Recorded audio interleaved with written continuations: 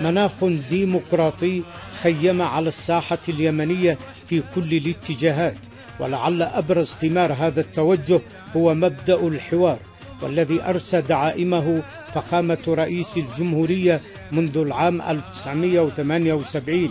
وترسخ منذ إعادة تحقيق الوحدة الخالدة حيث مثل الحوار الخيار الأول في تسوية كافة الخلافات الحزبية وغيرها بما يتوافق مع الثوابت الوطنية.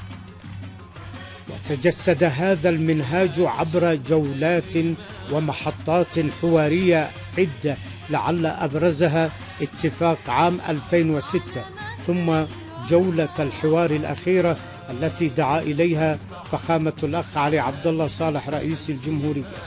وتم التوقيع بموجبها على اتفاق الحوار بين المؤتمر الشعبي العام وأحزاب اللقاء المشترك وذلك في السابع عشر من يوليو 2010 امتدادا لاتفاق فبراير 2009 والذي على ضوئه تم تأجيل الانتخابات البرلمانية. لتشكيل حكومة حكومة وطنية من كل أطياف العمل السياسي